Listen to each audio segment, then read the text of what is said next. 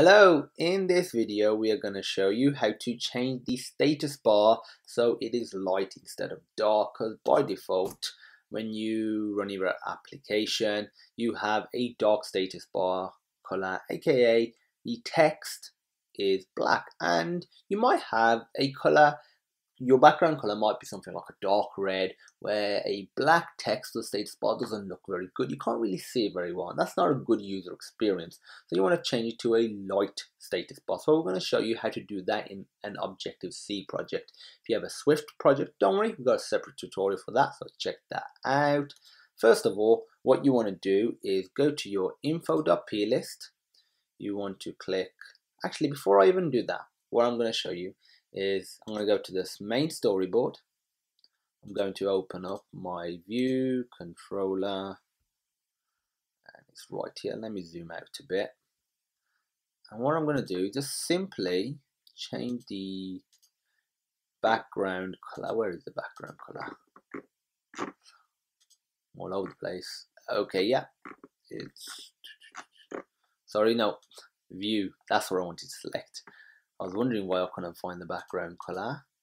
Yeah, here we go. I'm going to change this to red. I'm going to run the application now and show you what it looks like with a dark status bar. So here we go. It, it just doesn't look very good because, well, it's it we got a dark background color and a dark status bar text color. So white will look much better. So let's change that. So first of all, go to your info.plist, add another row. You want to type in view. This is case sensitive, so the search will only work if you did a capital V. So if I just did a lowercase, that wouldn't work. It wouldn't automatically jump to it. So you need to uppercase V, view controller base status bar, and then set the value to yes. Next, you want to go to your view controller m in the view did load. You want to do self set need status bar appearance update. So this just allows the application to update the status bar instead of keeping the default one. And now you do dash UI status bar style preferred status bar style. Curly braces inside here put return UI status bar style light content, put a semicolon, and now if we run our application,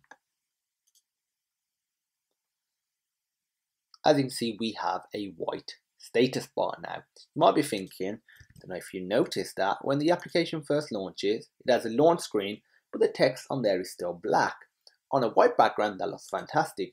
But let's go to our launch screen let's change this background to something dark. That's a dark color. That does not look very good at all with black.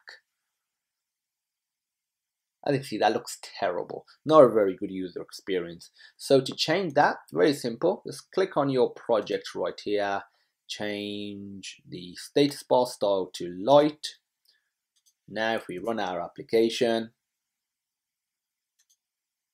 as you can see, we have a light status bar on the launch screen and on our main storyboard. Just a little thing to note, if you add another controller, whether it's a tab view controller, whether it's a navigation controller, basically no, different areas in your website, just make sure you keep it up to date in the code, aka programmatically, make sure you sort out the view did load and the preferred status bar style. So that's it, very simple stuff. There'll be a link in the description to this project. Like I said, if you're interested in Swift, check that out as well.